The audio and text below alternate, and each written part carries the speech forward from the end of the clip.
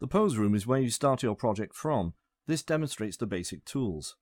Poser has a set of dials you can use to pose the various body parts.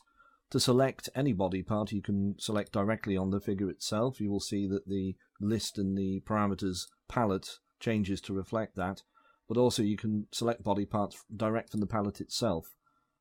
I'll click on the neck here. And then to make the dials work, you simply left click on it and move your mouse from right to right. You can see Simon's head is turning from right to right there. To reset, you go to the right arrow and click on the reset option and that zeroes the morph. There will be other body parts available also. Clicking on the head, you can use the plus and minus buttons here to make the rest of the morph lists appear and when it's needed the scroll bar will appear at the side to enable you to navigate the palette fully.